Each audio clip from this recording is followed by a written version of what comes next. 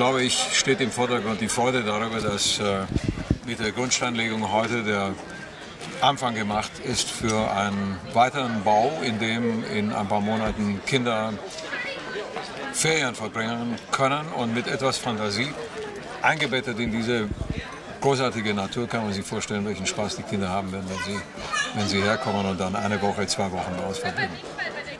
Hinter ihnen, was wir jetzt nicht sehen, wird ein Sportplatz sein. Hinter ihnen liegt der Dietelhofener See, da kann man baden. Äh, zu allen Seiten hin öffnet sich eine großartige Natur mit Möglichkeiten zu Ausflügen. Es gibt äh, einen Gemüsegarten, in dem man tätig sein kann, in dem man äh, sät und nachher erntet.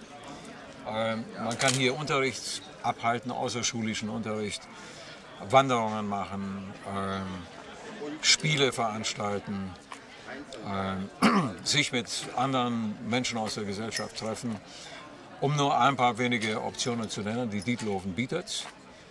Das ist ein wunderbarer Platz, nahe genug an, an einer Stadt, um Kinder leicht herzubringen und von hier wieder wegzubringen.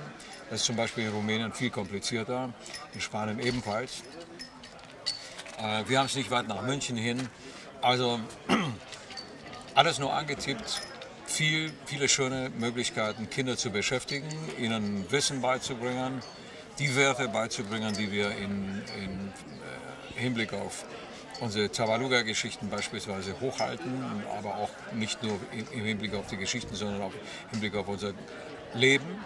Werte, die in der Gesellschaft, das meinen wir zumindest, eine wichtige Rolle spielen.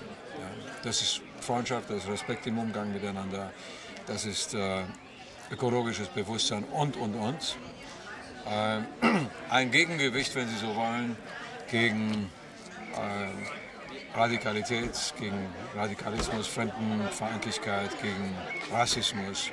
Äh, ein Ruhepol auf jeden Fall für Kinder, die verletzte Seelen haben, weil Erwachsene ihnen Schaden zugefügt haben. Wir dürfen nicht vergessen, viele von den Kindern kommen zum Teil aus Krisengebieten, aus Kriegsgebieten zu uns. Die haben schlimme Sachen erlebt. Es gibt viele Kinder, die haben geistige, körperliche Defizite, die nicht unerheblich sind. Die müssen ein ganzes Leben damit klarkommen. Also das sind die Schwächsten und die Erwachsenen müssen eigentlich eine Lobby äh, sein für eben diese schwachen Kinder. Denn das ist unsere Auffassung. Eine Gesellschaft ist nur dann stark, wenn sie den Schwachen hilft. Und das versuchen wir, meine Mitarbeiter und ich, in einem bescheidenen Umfang hier in Dietelhofen, aber auch in den anderen drei Einrichtungen äh, den Kindern zur Verfügung zu stellen. Also hinter uns ist ein Plan, auf dem kann man schon ein bisschen erahnen, wo die Reise hingeht. Ich denke mal, so 14 Kinder, Gruppen bis zu 14 äh, Kinder werden hier untergebracht werden können. Aber das stimmt nicht ganz, weil es, gibt, wird dann noch ein Zeltlager geben. In den warmen Monaten äh, haben wir ein paar Indianerzelte, die sehr gut zu den Bisons passen bedrohte Kinder, bedrohte Tiere, eine Landschaft, die man oder eine Natur, die man erhalten muss. Das alles verzahnt sich und, und passt gut zusammen.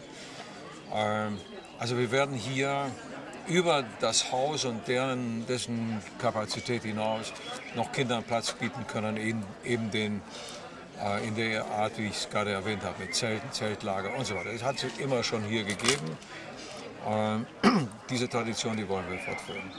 Und dann sind es eben solche Menschen, die einen anzünden. Die kommen mit einer tollen Idee und äh, man unterhält sich eine halbe Stunde und plötzlich, ohne dass man sich darüber wirklich klar ist, haben, ist man schon über den Tisch gezogen worden mit irgendeiner, mit irgendeiner spannenden Idee. Das möchte ich gerne bei mir, in, solange ich äh, lebe, praktizieren. Es ist ein schönes Ziel, anderen Menschen äh, zu helfen, so wie man in der Vergangenheit, ich gehe jetzt ein paar Jahrzehnte zurück, auch mir irgendwann mal geholfen hat, meiner Familie und mir, weil ich kam ja auch irgendwann mal nach Deutschland und habe dann hier ein, ein neues Zuhause gefunden.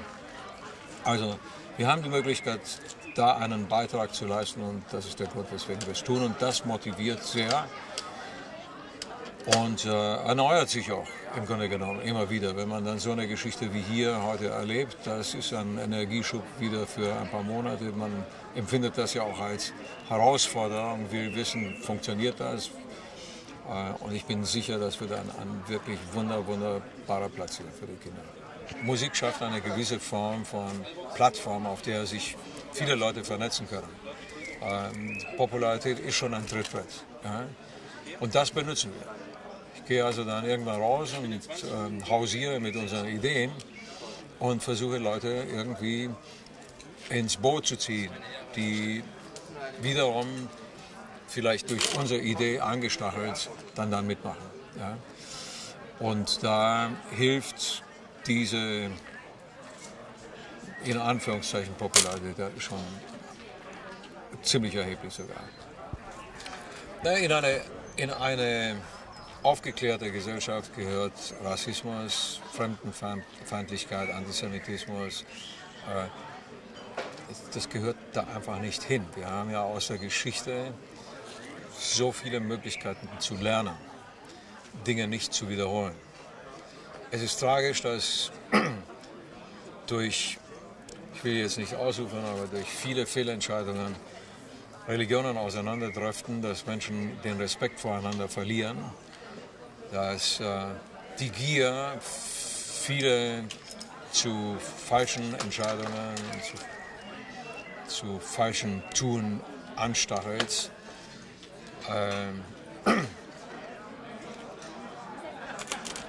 die Welt ist ein bisschen aus den Fugen geraten, weil weil es Gier gibt.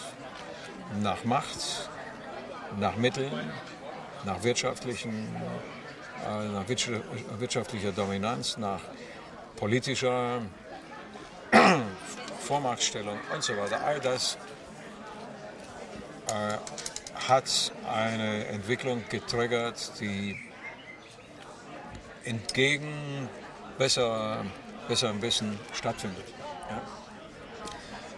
Und dem muss man entgegenwirken.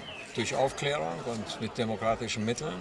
Äh, wenn irgendwo Gewalt passiert, und das passiert im Grunde genommen jeden Augenblick überall irgendwo auf der Welt, dann müssen wir dem entgegenwirken. Es gibt dazu keine Alternative. Die Kinder, die wir wachsen sehen, haben ein Anrecht darauf, in einer lebenswerten Welt zu leben. Und wir haben die Verpflichtung, dafür etwas zu tun. Was wäre so dein größter Wunsch für die Zukunft? Dass die Klugheit und nicht die Dummheit siegt.